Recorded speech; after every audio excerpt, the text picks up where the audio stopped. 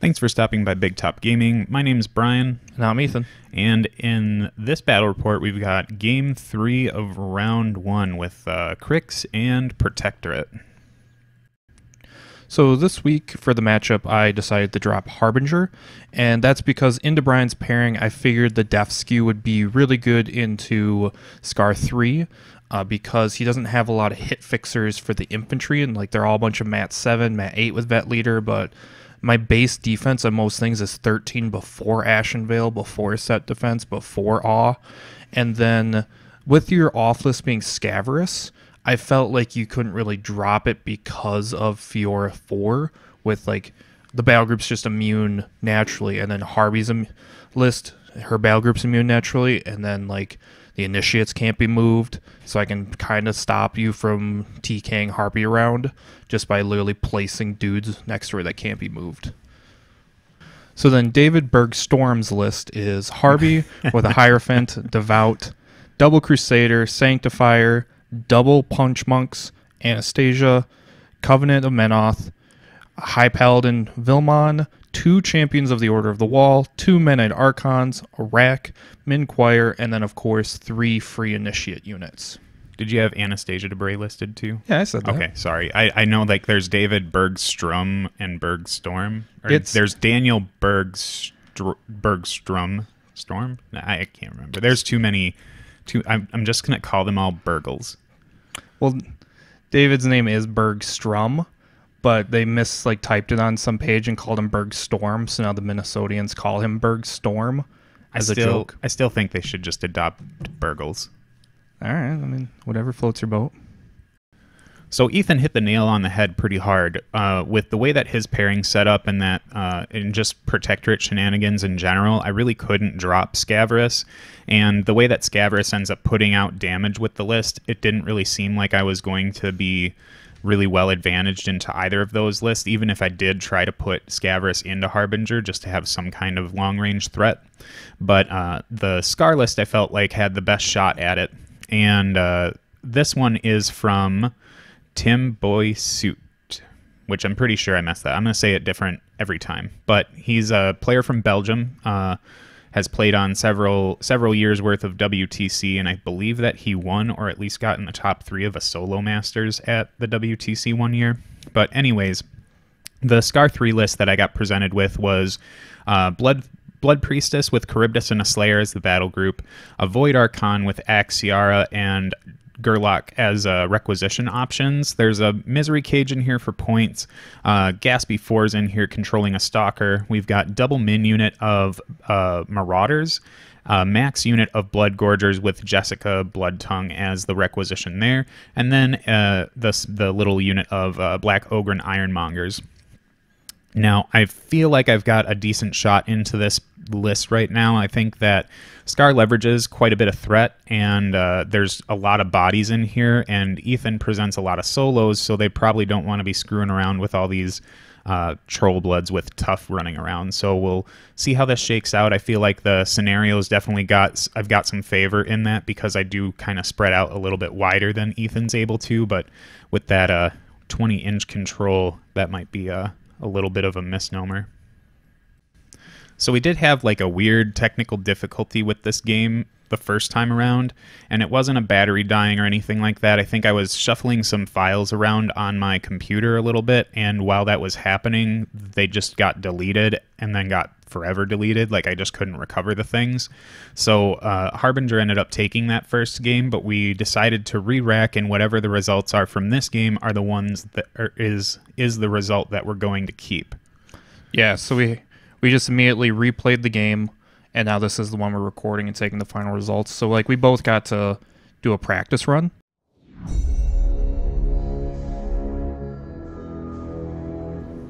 So I won the roll to go first, so I opted to go first with everything. And here, every I'm just running turn one.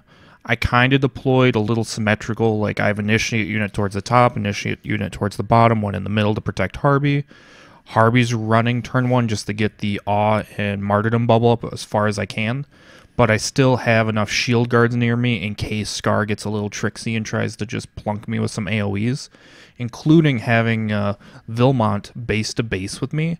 Thanks to the leadership from the champions, he, the uh, other paladins give girded, so that way he, he can't just try and drift onto Harby either. So like being just blanketed me in the blast damage is pretty nice and I'm playing really aggressive with the champions. I have one on each side. They threaten super far, like 15 inches before Righteous Vengeance, because uh, Vilmon gives them Righteous Vengeance just forever, and then they leadership him and the initiates girded. And then I have a punch monk on each zone, and I'm trying to leverage that top zone with the obstruction just to park a punch monk right behind it where you cannot see, just always in shifting stance just to slow down the scenario and make Brian come to me. Because like like he said, he can play a little bit wider than me because of my martyrdom bubbles only, and I'm air quoting only twelve. but like the punch monks can really slow down the scenario because it's hard for his stuff to hit it, and then that kind of just leverage and lets the grind go to me, and then everything's just kind of running up.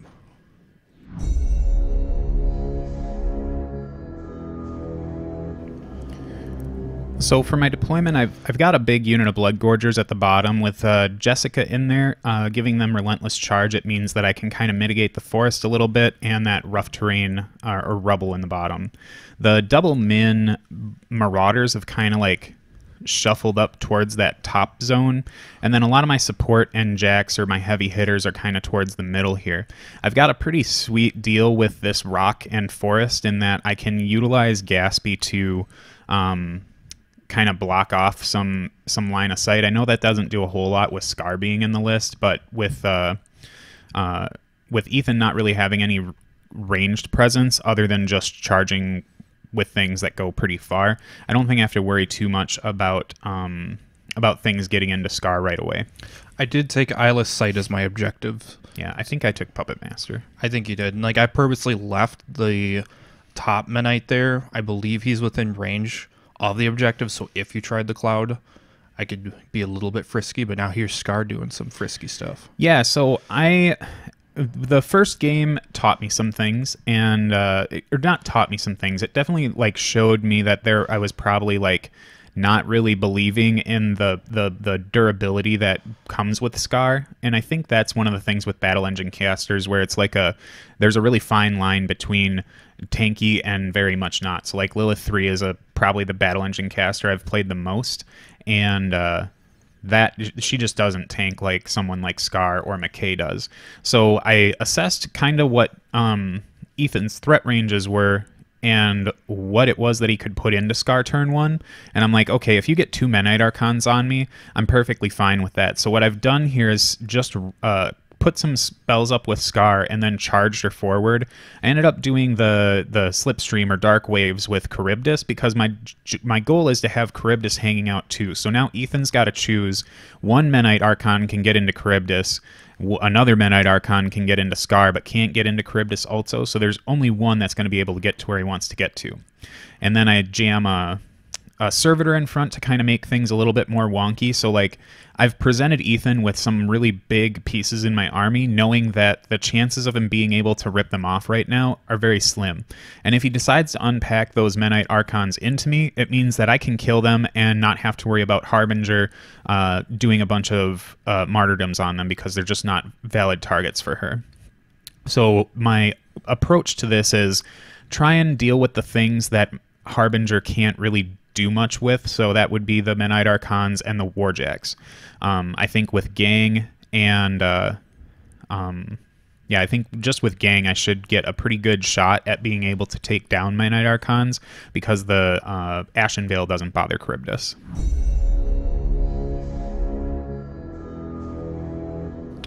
So I don't think Brian took into Crusader's Call into effect. Like he eyeballed the the painted Menite Archon's threat into Kharybdis.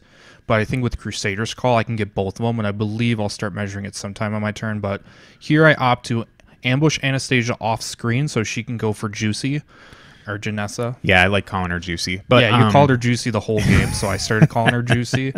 I can get a backstab charge into her, And like if I can get rid of the tough no knockdown bubble, that means the Menite Archon doesn't have to go down there and start threshing with his Grievous stick or flail. Yeah, it was some really unfortunate positioning. It's like uh, I just kind of wasn't paying attention to where Jussika was in the unit, and uh, now that that makes them a little bit less threatening, I feel not super comfortable with what's going on in that bottom zone. And here, I believe I go into the tank a little bit because like I want a Crusader's Call.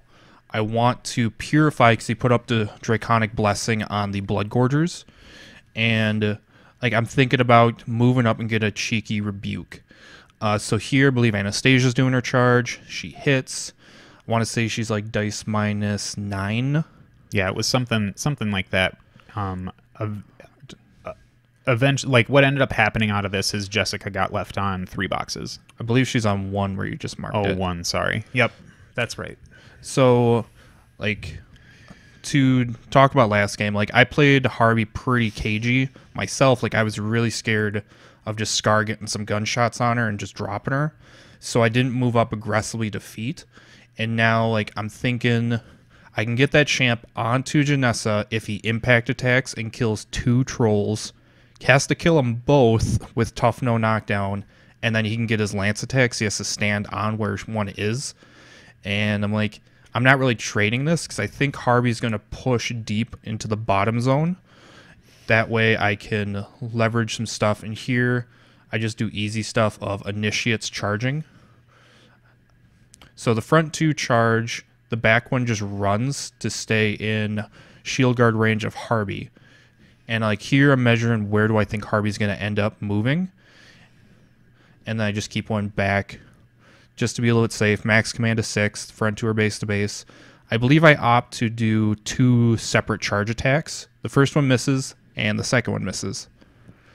Uh, Matt six needing a six. Kharybdis is a twelve. Yeah, he's a twelver. Yeah, so rolling threes right like back to back was sad, but they're just it, incidental damage. And then I believe there I forgot to roll. I always forget to do continuous effects at the beginning, so I had the roll on the Menite Archon, and here's one out. So Harvey has just feeded. Uh, she purified for three thanks to Hierophant. I pulled one from the Wrack.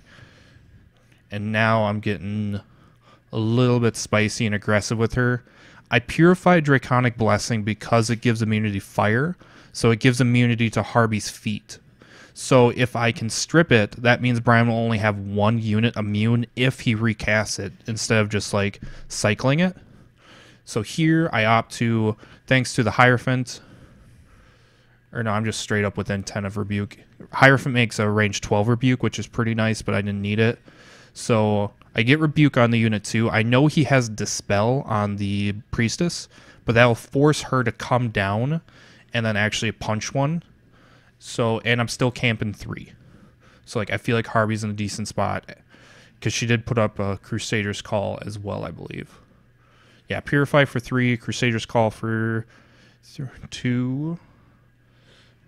And here I put in the bottom Menite Archon. I did not Thresher. You can see from the grid I only did, I believe. Yeah, it wasn't a ton of damage on the. I think one of the one of the um, paladins came in with a decent. No, never mind. Maybe it was the Menite just It crapped was the, the bed, crapped the bed in the first one. So Kharybdis is sitting pretty well. So when I when that when that Menite Archon came in and did so little damage, I was feeling pretty good about how um, Kharybdis was positioned in this one because it's keeping your Menites off of Skarre, and as long as Kharybdis is continuing to be functional, uh, I'm pretty happy with how the that first Menite charge went. Yeah, I was really hoping he would do a little bit more. Uh, Kharybdis, I wanted to really take because he's what threatens deep. And there, top champion charges max reach on the Slayer, hits, POW 16, sets him on fire. Just doing my charge. Does okay. believe it takes out the left arm, and then I repo back into martyrdom range. Uh, so I just did the math on my folks. My math is right. With Wrack and Hierophant, I am sitting on three after casting Purify, Crusader's Call, and Rebuke. Because I didn't need the boost the Rebuke, which is pretty nice. So my plan is just to stay out of Void Walking 6 uh, because he's behind the woods and that way he can't get within Grievous Wounds range, so that way he won't get a teleport on the Harby. So that unit of initiates moves up within three of Harby, outside of 11, the walk spray threat of Under Martyrdom. And then I might have moved Vilmon already just to get Yeah, base days with Harby. Yeah, Vilmon's already in base to base. After Harby moved, I think that was like your your your number one thing to do after. Yeah, like he brick and mortar stances and just follows Harby all game. Choir go up. I can only do it to three of the jacks, but I do the no spells or no magical shooting because you have no offensive spells. Yeah, no offensive spells, and Skarre's got magic cannons, but you know that's about the run of it. I think. I think it just stops the Marauders from chucking. So there now the top unit of initiates with Crusader's Call can go in. And I think importantly, the Menite took out the movement. So I'm just doing single attacks now. It's a boosted POW 12s. hmm Uh, Kharybdis is only armor 18. Yeah, he's only armor 18. He doesn't have unyielding or anything like that, so he's pretty uh, pretty fragile.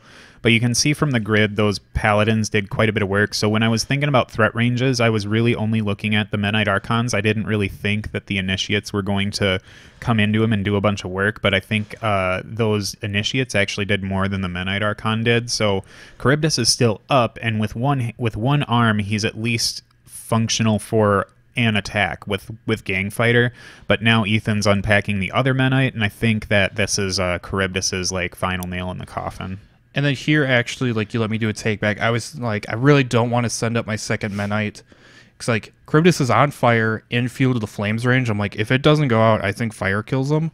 And I'd rather have the second uh, Menite protecting Harby, just in case you try and get cute with something over there, and basically blocking the landing spot of Skarre. So that way she couldn't get melee to Harby. Because I'm not really scared of anything else getting to her with Awe and Ashen Veil down there now. So like even if you strip Rebuke, I don't think Gorgers can kill her. no i don't think so either with mat 8 um and they're only pow 11 i think pow 13 with the with the draconic blessing it's going to be rough Yep. And there the champion went in, impact attack, hit both, killed both, charge attack, killed Janessa, and I was like, Go go gadget champion. yeah that was like the the perfect storm for you so now with jussika down that unit is uh it's not that they're dead to me it's just that they are not going to get the uh, efficacy that i was hoping for Punch Monk moves up outside of stopping Martyrdom walk and spray range, and I called a turn. So there were a lot of things that went wrong for me on on that last turn. Losing Jussika to the the, the paladin glory charge was not fun, and then uh, watching Kharybdis uh, go down, and it, he didn't go down actually. When I when I did the fire check, the fire went out, and uh, I think that when I first thought about that, I was like, well, that's cool. And then as I'm starting to like kind of assess my turn and what I need to do right now, uh, I really wish he did die to just get out of my way. But I've got some interesting things that I can do on the top zone for uh, kind of manufacturing some stuff for Skarre. So I'm looking at uh, moving up my Slayer, who I think this one has one bad hand from a charge. Yep. And uh, we go ahead and do a one-handed throw with the or at at with the pa- we throw one hand throw the paladin, and I'm trying to throw it at the. Uh, Allegiant of the Order of the Fist that's hanging out behind this wall.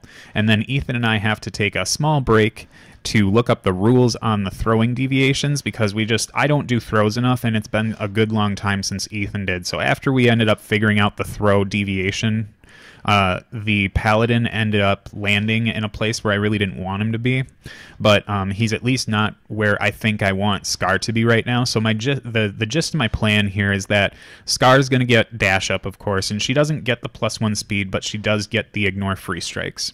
Other way. Other way around. Yep. Oh yeah, I'm sorry.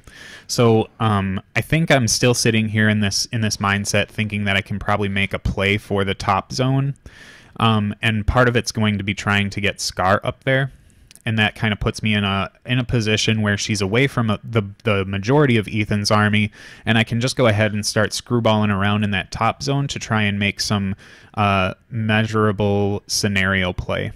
But as this uh, turn kind of starts playing out. Um, I'm kind of having second thoughts about what I'm doing there because uh, I don't feel like I want to take a whole ton of free strikes from the the pile of paladins and uh, Menite Archon. So what I end up doing then is I, I'm trying to figure out ways to start taking out some of those pieces, and I think that uh, I'm thinking. I'm, I think that I'm thinking. Uh, I've at this point I'm in the boat of thinking that the Void Archon is going to try and find a way to get into that group of paladins so that he can uh, try and blow some of them out of the water. And with the entropic aura, there's going to be no martyrdom business, so that would take out some of the free strike business that we've got going on up there. And then possibly there's a chance that um, that I might be able to get the Menite Archon with my Void Archon.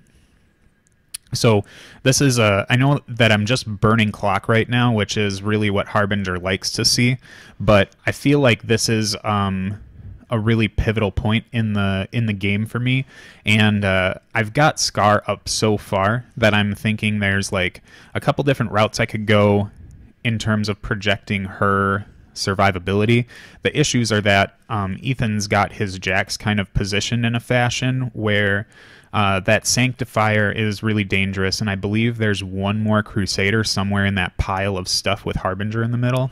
No, there's a Crusader on top, Crusader on the bottom, and then the Sanctifier and Devouter in the middle. Okay, yeah, I'm sorry. It's uh, I'm just losing the the metal Crusader that we've got on the table, and then the castigator that's playing the role of as the sanctifier are kind of looking the same to me right now but um i decide that this is this is how i'm going to do things right now with skarre and uh this was this is where like the dash thing comes up because i was like i'll just put up dash and then i don't have to worry about any of this and then uh This is where the feet came up because we didn't Yeah. measure how far away Harvey er, was to Skarre before she moved, and now that we're rewatching it, you might have been uh, Further close- away. Yeah, because if you end closer, you take the POW. We thought it was like about the same distance, so Brian let me take the damage, and I rolled box cars. Yeah, and uh, that was not good for Skarre. I was like kind of hoping for um, for big wins here. So now we're rolling it back because we realize that Dash doesn't give her parry, um, and uh, I think you're you're talking to me about trying to take the damage back too. And I was like, well, let's just leave it on because I think I'm going to go a little bit more dangerous dangerous with Skarre here. And uh, I've got up dark. I've taken done the feat. I have dark waves up. I've got uh, draconic blessing on Gaspy. I've got uh, um, guided fire up just so because why not when you're taking one point to boost three shots. And uh, I think at this point I've decided that my end game here is going to be trying to take out um, either the Sanctifier that's next to Harbinger. So this way, if that thing goes down, I think it would be harder for the Crusader to get into Skarre. Um, but uh, because I can just kind of jam out the Crusader on the other side. It is worth noting we missed it. Brian had to take a free strike from one initiate, and he rolled trip sixes on Skarre. Yeah, I'm so, that one was harsh. So like this was my I think Skarre's going to be fine and tank through a lot of this. And then when you roll triple sixes on a free strike, uh, Skarre's sitting on like maybe half her boxes. yeah, she's she's pretty beat up right now. And uh, I end up buying a bunch of ram shots into the back of this Menite Archon, and I think that when you're in oh, awe and Ashen Veil because you're living, so Yeah. it's like it's rough. So the the Menite walks away just fine.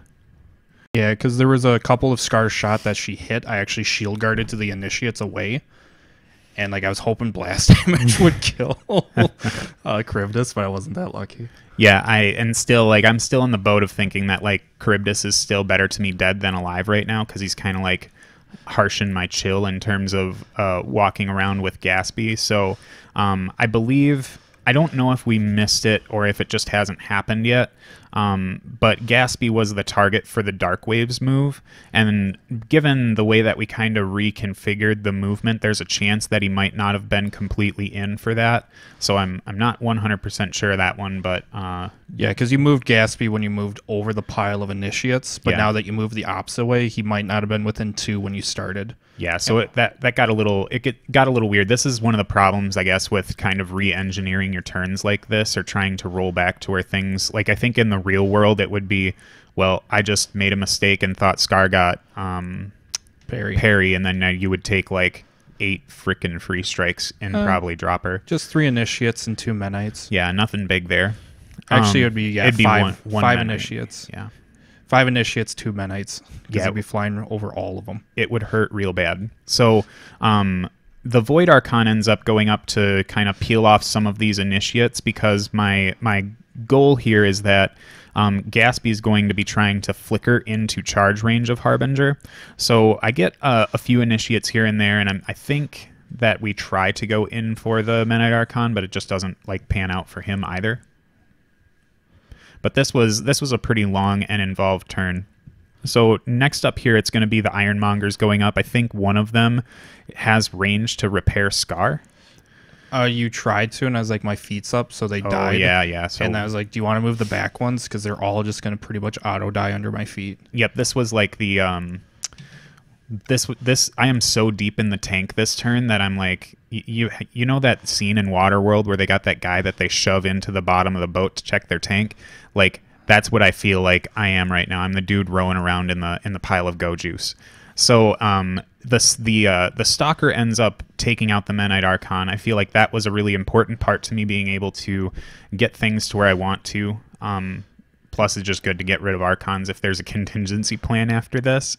So uh, now we're getting into the the flicker shenanigans, and I think uh, the this turn was so much of a dumpster fire that I didn't initially first see this thing until Ethan pointed out to me, and I'm like, well, it's just all or nothing here. So we've got Dark Shroud up on Gaspy. We have um, Draconic Blessing on him as well. So I think that makes us hit at POW 17? 20. Sorry, 20.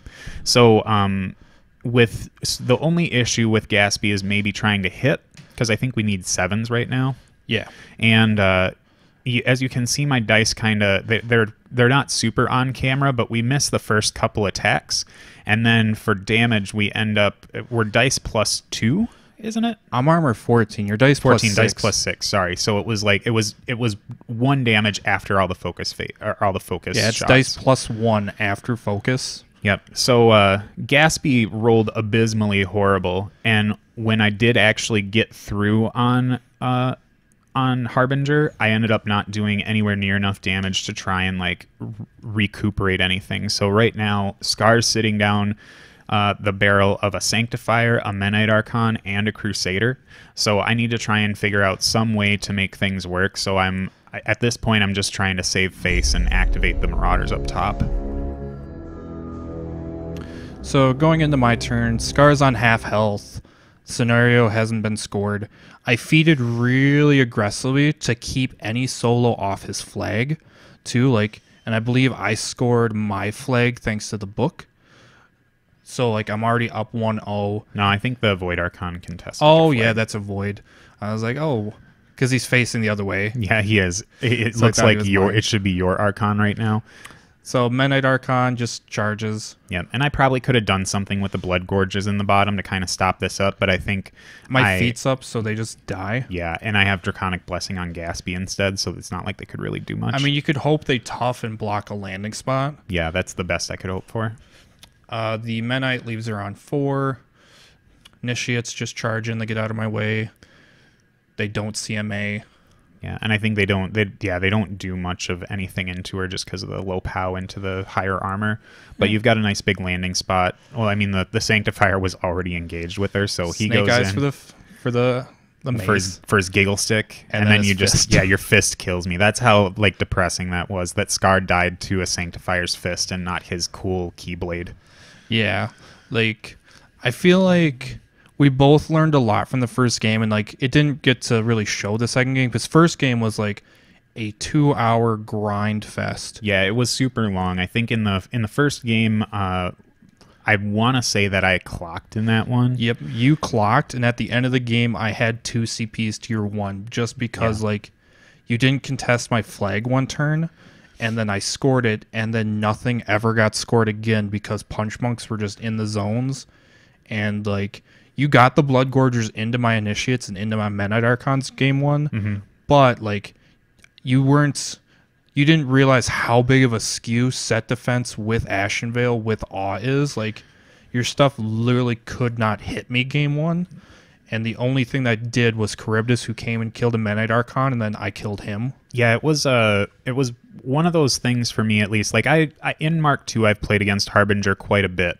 Um, things were of course different back then, but um, in the more recent history of Mark III, I've played against Harbinger twice now, and each time I dropped into her, it was with ranged lists. So the set defense Ashen Veil stuff didn't really come up that often because most of my shooting came from constructs.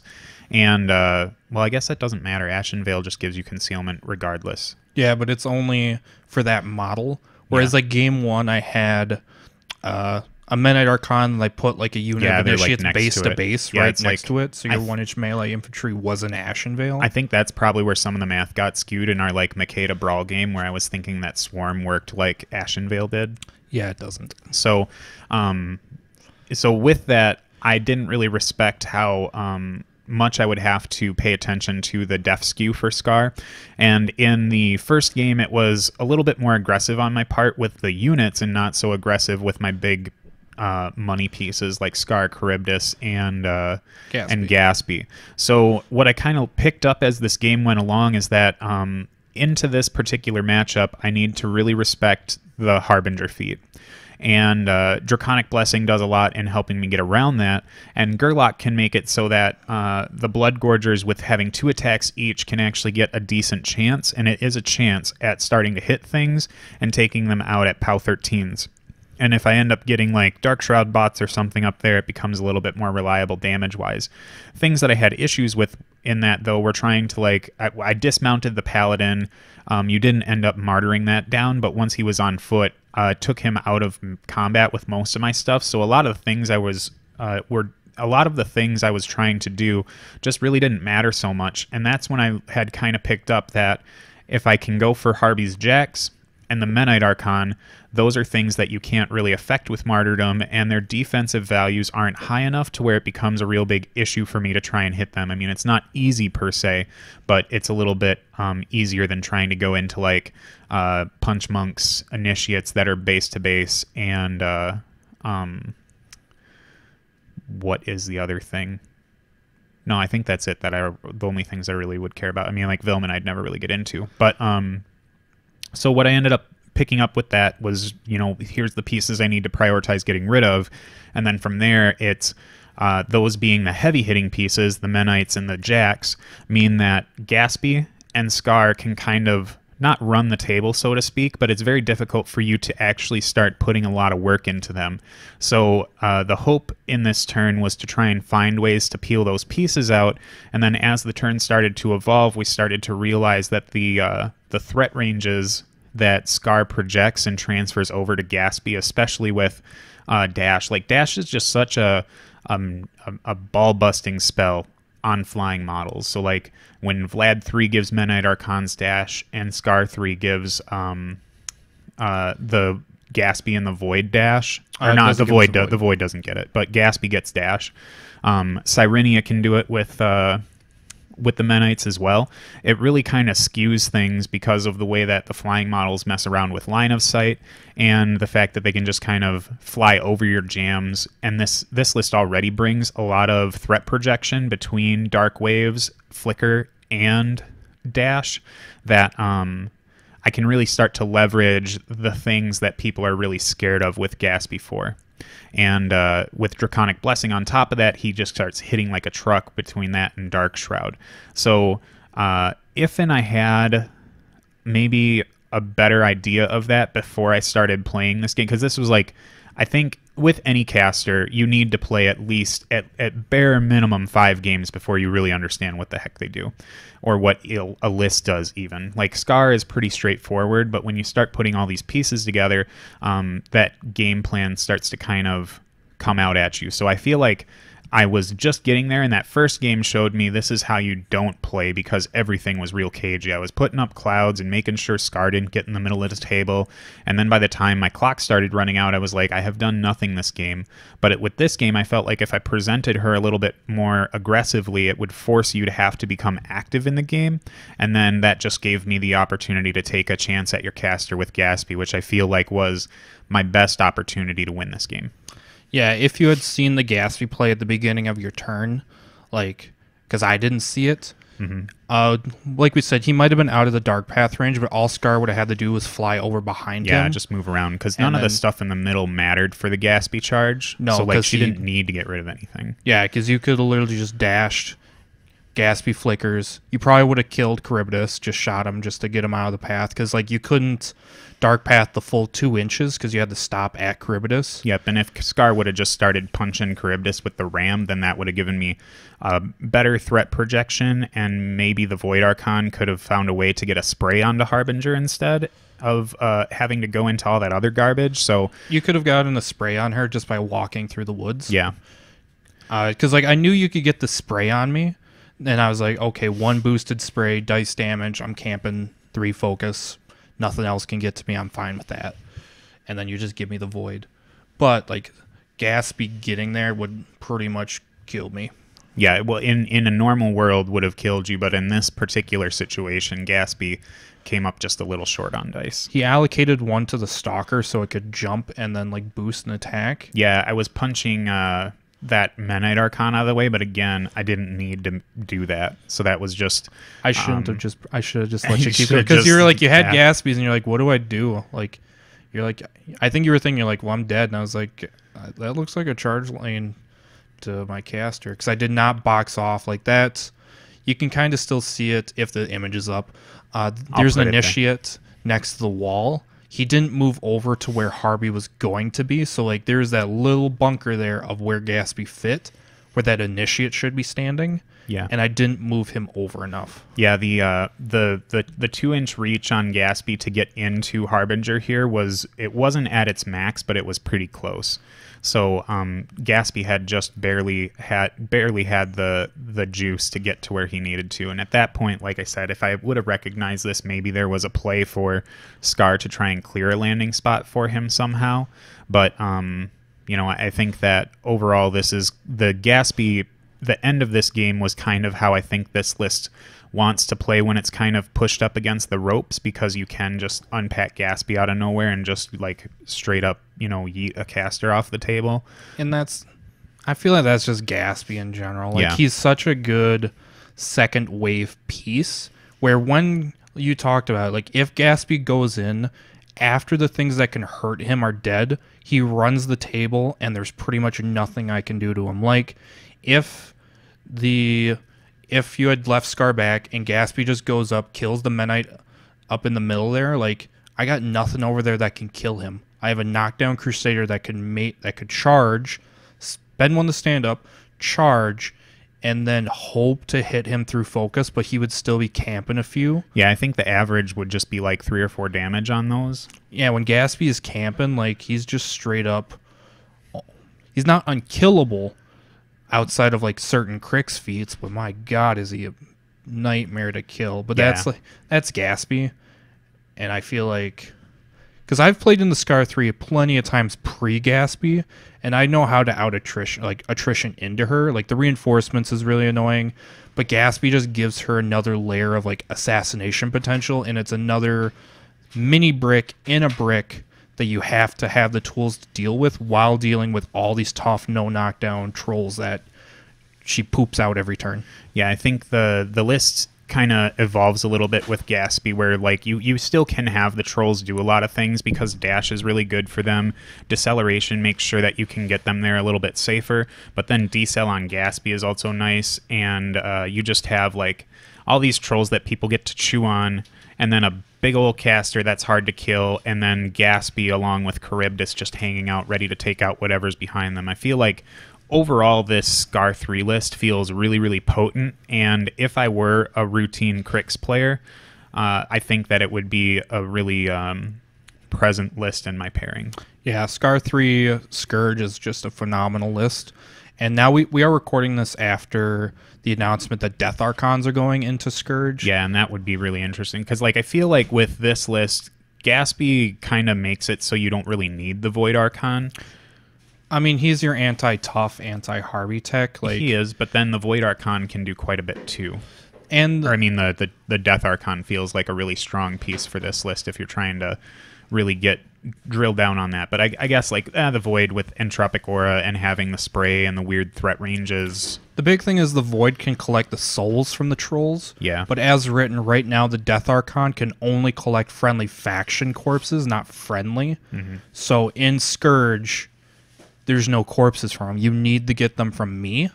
Yeah, and that'd be a little rough. Yeah, so like that's the only downside to the Death Archon being in Scourge is it's not friendly faction, so it doesn't proc Gang Fighter, and I could see a few Cryx players picking one up because they're really excited for that three inch melee, and that's like, well, it doesn't help you.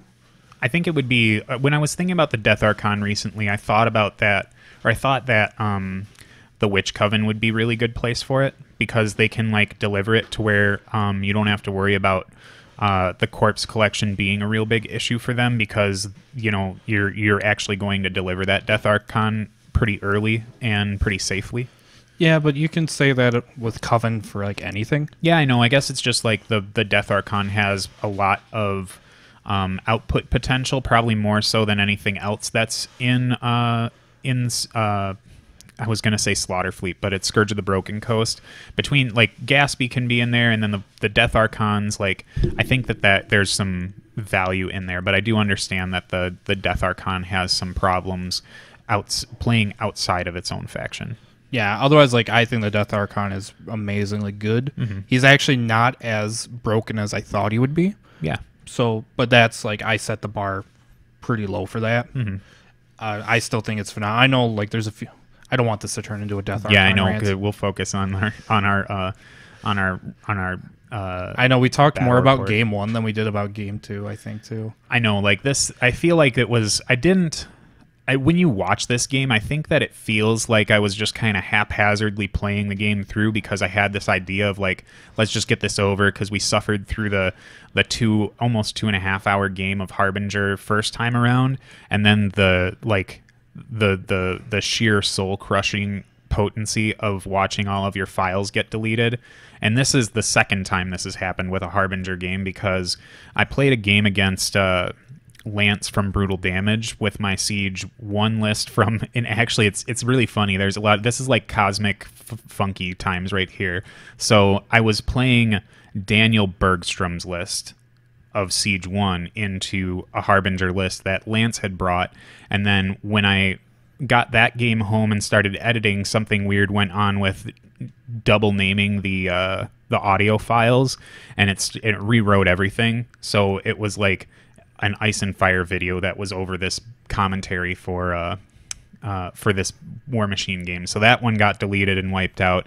And then the second Harbinger game uh, that was David Bergstrom's list now is had gotten wiped out at first too. So like um, when we came back in, I tried to make it seem like I wasn't you know playing this way because I just wanted to get the game over and move on with things.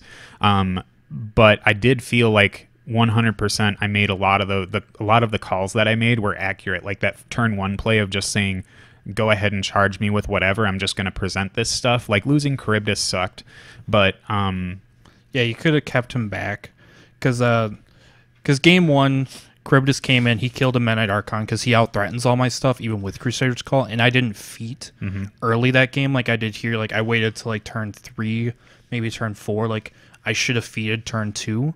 I was just trying to get really greedy with the uh, positioning and like to try and feat to keep you from getting into my flag area.